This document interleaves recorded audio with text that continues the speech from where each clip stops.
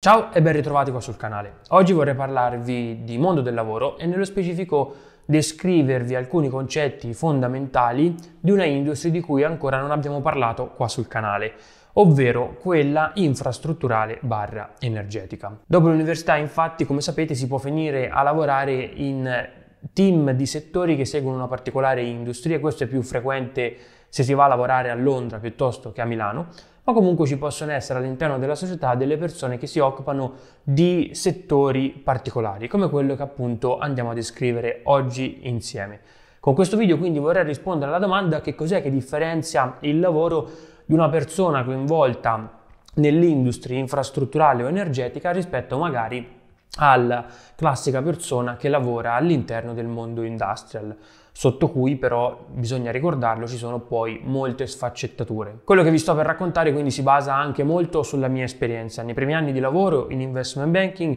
mi sono occupato tra l'altro anche di vari sottosettori all'interno del mondo industrial. Al contrario adesso lavoro a Milano presso un private equity di tipo infrastrutturale energetico.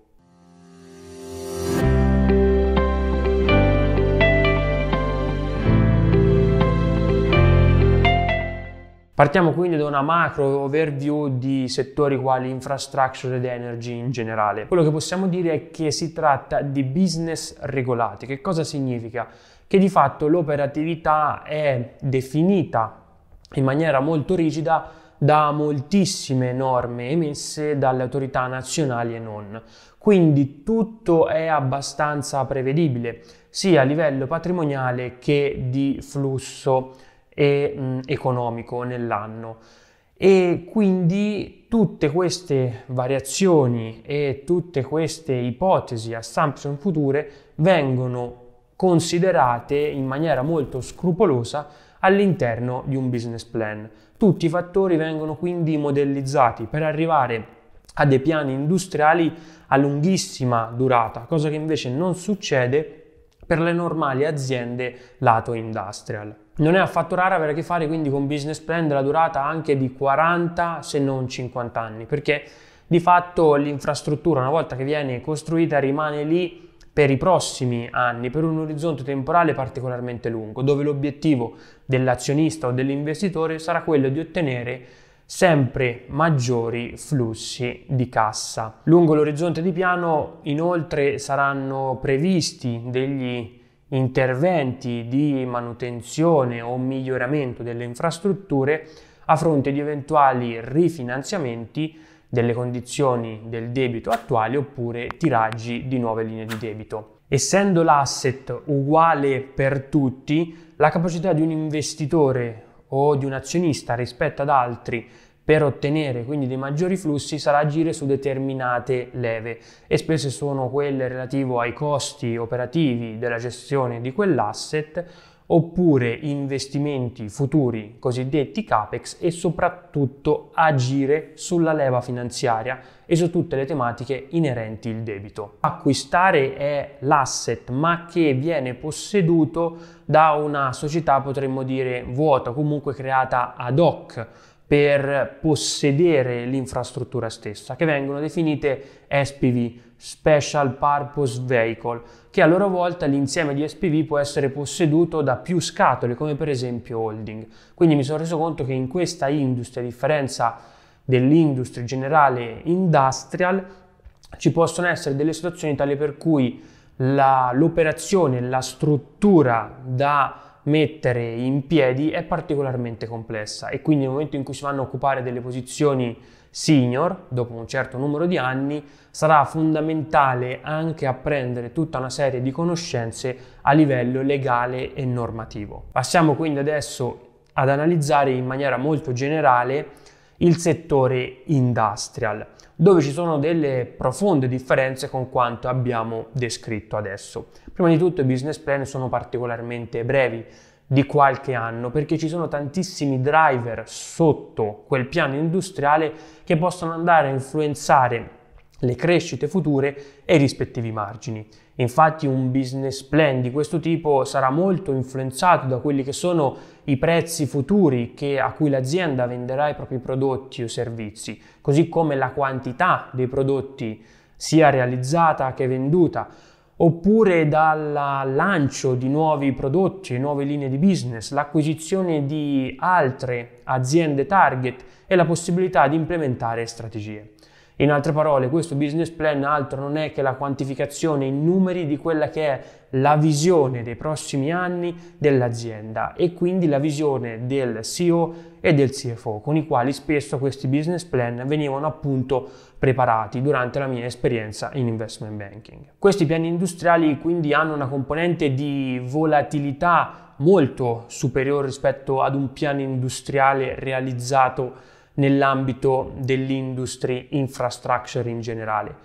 e presentavano tutti tassi di crescita particolarmente elevati così come un netto miglioramento dei margini. La valutazione poi era una valutazione asset side, ovvero venivano scontati flussi di cassa operativi secondo la metodologia DCF, ovvero Discounted Cash Flow, e venivano quindi attualizzati al Weighted Average Cost of Capital, WACC, a differenza di quanto succede invece in progetti di tipo infrastructure o energy, dove la componente del debito è facilmente prevedibile ed è prevedibile per il lungo periodo e quindi viene inclusa nei flussi di cassa che andiamo a scontare e i flussi di cassa che saranno alla base della nostra valutazione sono quindi i free cash flow to equity, ovvero i flussi di cassa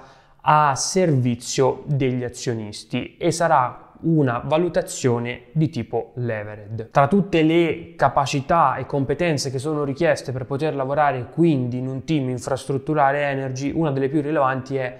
la capacità di poter gestire un business plan in Excel particolarmente complesso, in quanto, come detto in precedenza,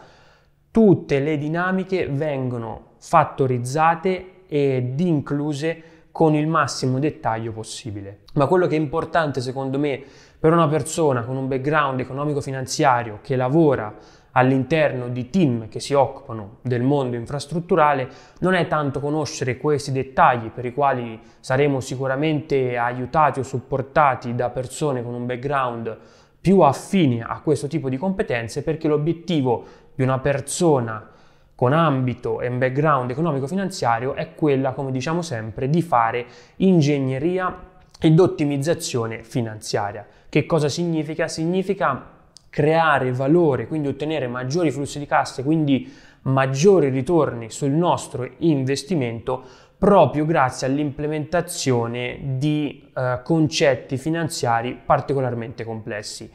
e il concetto che ha un ruolo probabilmente maggiore in tutto questo è la struttura di debito e leva finanziaria che una società è in grado di negoziare, concordare con le banche e riuscire a mettere in piedi. Come vi dicevo infatti in precedenza c'è molto meno spazio dal punto di vista operativo per poter agire sui ritorni dell'investimento, a differenza di quanto fatto da una tradizionale azienda dove il CEO può agire sia lato ricavi con molteplici iniziative che lato costi con eh, tagli, limiti di ogni genere. A differenza invece di quanto succede nel mondo energy infrastructure dove i KPI le metriche e i key ratio principali sono abbastanza comuni, indipendentemente da quello che possa essere l'azionista o il gestore di quel determinato asset. Per quanto riguarda le riflessioni finali, forse lavorare in un team infrastrutturale può essere meno carino rispetto a lavorare in un team che si occupa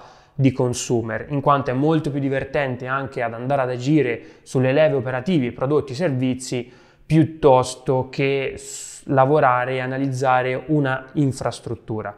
Ma in quest'ultimo caso si vanno ad apprendere delle conoscenze finanziarie molto più complesse e nel dettaglio, che sicuramente vi torneranno sempre utili, in quanto imparerete secondo me a ragionare molto di più in termini di investimento e di ritorno, in particolar modo nel momento in cui sarete lato buy side. Per quanto riguarda invece il mondo della consulenza, dopo i primi mesi sarete coinvolti da subito nel financial modeling e questo sicuramente vi permetterà di apprendere moltissime competenze.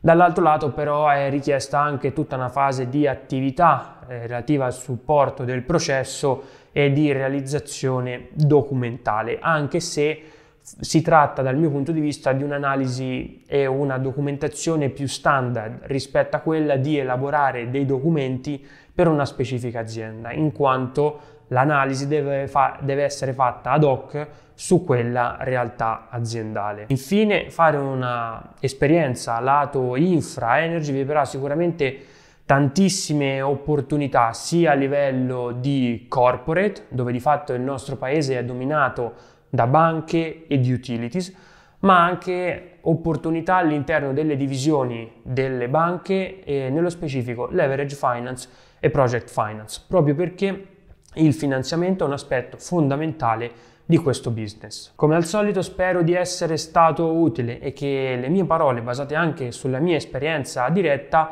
ti possono essere di aiuto per le tue scelte future. Non dimenticarti di lasciare quindi un bel mi piace e di iscriverti al canale e se hai delle domande o vuoi appunto raccontare la tua esperienza in team specifici in cui hai lavorato, io ti aspetto come sempre nei commenti qua sotto. Ciao, noi ci vediamo sempre qua sul canale. A presto!